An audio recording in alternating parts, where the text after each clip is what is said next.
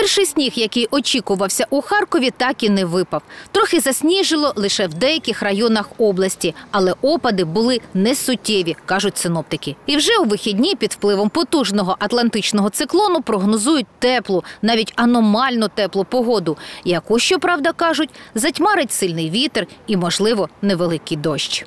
На 20 число ночью по области и по городу ждем осадки в виде небольшого мокрого снега с переходом в дождь. А Почему с переходом в дождь? Потому что вот эта вот холодная погода будет теперь э, как бы перетекать в более теплую, аномально теплую. У нас ожидается потепление в субботу днем до 6-11 тепла, вот, и ночью от 2 мороза до 3 тепла. Но вместе с этим за счет увеличения барических градиентов э, усилится ветер. В частности, мы вот на завтрашний день, на субботу, ждем порывы повсеместно до 15-20 метров в секунду. Это уже первый уровень опасности, желтый уровень. Э, Поэтому нужно быть все-таки немножко подготовленным.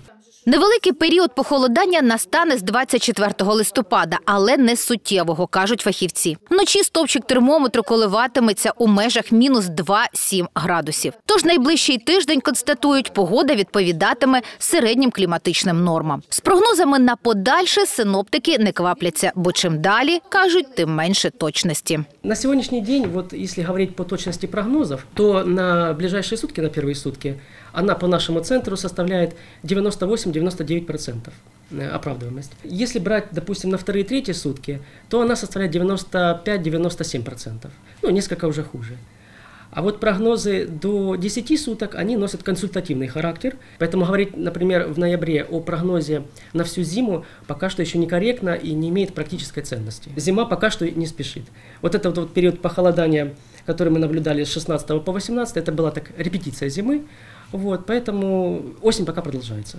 Основним джерелом даних, згідно яких складаються прогнози, є 10 метеостанцій, розташованих по всій області. Звідти вісім раз на добу передають інформацію поточного стану атмосфери, згідно якої синоптики моделюють ситуацію і визначають майбутню погоду. Комп'ютерні програми дозволяють відслідковувати штормові явища, хмарність, грози, опади, вітер, температуру повітря, і все це в режимі онлайн. Тож харківські синоптики регіонального центру з гідрометеорології, який цими днями відзначає свій 130-річний ювілей, як то кажуть, у всеозброєнні та цілодобово на варті.